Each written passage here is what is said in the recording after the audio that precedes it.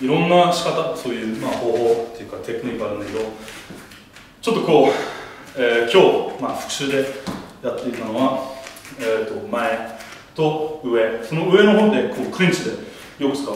みんなこれこうこういうのこれしかやってないんだけど急にこうな膝が上がってきたらこうびっくりさせちゃうしこう、うん、いろいろそうそう。一応まあ目標として相手の姿勢を変えるため、こういうのいろんなダーティーファイトテクニックそういう汚い技もかけるし。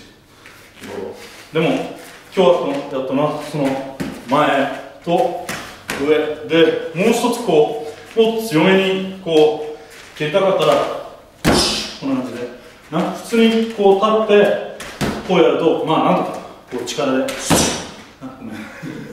体のな筋肉の力でこう打つんだけどこういうなスイングみたいなこう動作でなそうそうそう。ちゃんと体重も。シャッなそうそうそう。な引きながらこう蹴るような感じ。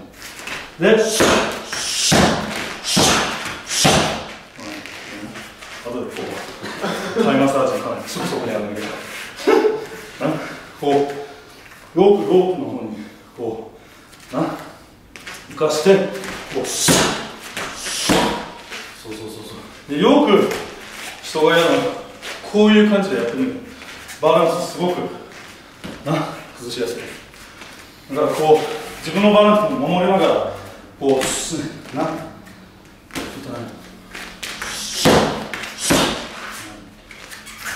そうそうそううんうんうん。な。そういったスイッチで自分の体重もこうコントロールするように。さっき言ったその、まあ、ロープとその石みたいなバッバッを重力でじゃあな、などかす。そうそうそう。要は力だけじゃなくこうな体の使い方が一番大事だっていうことだな。